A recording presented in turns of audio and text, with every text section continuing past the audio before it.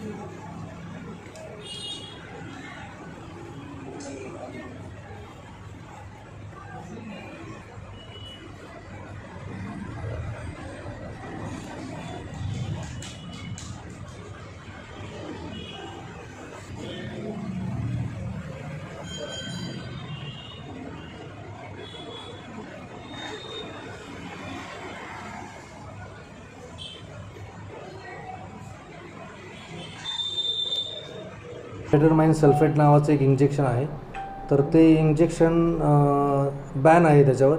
ते कुठल्याही प्रिस्क्रिप्शनशिवाय कुठेही कुणाला विकता येत नाही आहे परंतु आपल्याला एक माहिती अशी मिळाली होती की एक रेनोसी नावाचा एक व्यक्ती आहे आणि तो व्यक्ती त्याच्याकडे हे बॉटल्स ठेवून तो बेकायदेशीरपणे त्याची विक्री करत आहे.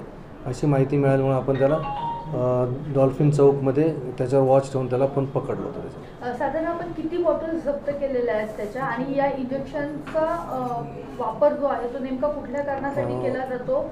अ, प्रत्येक मेडिकलमध्ये हे अवेलेबल असतं. आणि जो तो ज्याच्या- ज्याला आपण ताब्यात घेतोय तो कोण आहे? काय करतो नेमकं? अ, याच्यामध्ये आपण ज्याच्याकडनं आता ह्या सहा बॉटल सुरुवातीला ज्याच्याकडनं रेणुसे नावाच्या व्यक्तीकडनं हस्तगत केल्यात तो एक जिम इन्स्ट्रक्टर आहे. त्याला ती काही परवानगी नाही अशा बॉटल्स विकायची. हे फक्त ठराविक डिस्ट्रीब्युटर किंवा ठराविक मेडिकल स्टोअरमध्येच याला विक्री करायला अलाउड आहे. आणि हा जिम इन्स्ट्रक्टर असून हा जिममधल्या मुलांना कदाचित हे इंजेक्शन पॉवर बुस्टिंग किंवा स्ट्रेंथनिंग करता देत असण्याची शक्यता आहे. आणि याच्यावर हा लो ब्ल ब्लड प्रेशर करता वापरण्यात येणारं इंजेक्शन आहे.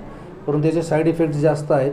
त्याच्यामुळे विदाऊट प्रिस्क्रिप्शन हे देणं अलाउड नाही सर आतापर्यंत किती जणांवर काय साईड इफेक्ट झाले किंवा असं काही प्रकार घडलाय अ, किंवा मग त्याचा फायदा त्यांनी कशासाठी वापरला आता याच्यामध्ये किती जणांवर साईड इफेक्ट्स हे अद्यापपर्यंत आपल्याला निष्पन्न तपासामध्ये होईलच आपल्याला. पण त्याने कोणाकडनं बॉटल घेतल्या होत्या तेही दोन व्यक्ती आपल्याला सापडले आहेत. त्यांच्याकडनं मिळून एकशे सहा बॉटल्स आणखीन आपल्याला अ, याच्यामध्ये मिळालेले आहेत. आणि यांचा मेन पुरवठादार कोण आहे त्याचा तपासामध्ये आपण आता शोध घेत आहोत. लवकरच त्याच्यापर्यंत पोहोचून आपल्याला तिथपर्यंत जाता येईल आणि त्यांच्याकडनं अजून माल काय असेल तर हस्तगत करता येईल याच्यानंतर. हे जिममध्ये म्हणजे तो लोकल जिममध्येच आहे. त्याचं एक्झॅक्ट नाव आता माझ्याकडे नाही. सर या संदर्भात तुम्ही सगळी माहिती ड्रग्स डिपार्टमेंटला दिली हो ज्यावेळेस आम्हाला त्याच्यात? त्याच्यात फूड इन्स्पेक्टर आहे. त्यांचं नाव सांगतो तुम्हाला. तर तर आम्हाला ज्यावेळेस माहिती मिळेल त्यावेळेस आम्ही त्या फूड इन्स्पेक्टर जे आहेत त्यांना आम्ही बोलवून घेतलं या ठिकाणी. आणि त्यांच्याकडनं अतिश शिवाजी सरकाळे म्हणून हे फूड इन्स्पेक्टर आहेत.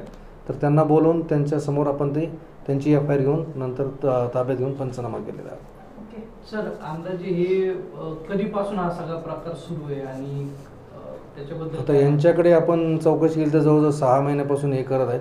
पण याच्यापेक्षाही अगोदरपासून ते करत कदाचित करत असेल अंदाजे त्याची किंमत किती होती आणि किती रुपयाला ते विकायचे? साधारण एका बॉटलची किंमत पंच्याण्णव रुपये आहे. परंतु तो अडीचशे रुपयाच्या आसपास ती दोनशे ते अडीचशे रुपयाला ते विक्री करत होता एका बॉटल हे तुम्ही तिथपर्यंत पोहोचले कसं? नेमकं काय घडलं? आता हे आमचे जे बातमीदार आहेत की बाबा असाचा माणूस एक आहे की ज्याच्याकडे तो जिममधल्या मुलांना काहीतरी इंजेक्शन्स वगैरे किंवा अ, असे काहीतरी अ, हे हे देत आहे उत्तेजक. अ, देत आहे की जेणेकरून त्याच्यावर ते अलाउड आहे की नाही असं आम्हाला एक इन्फॉर्मेशन मिळाली होती.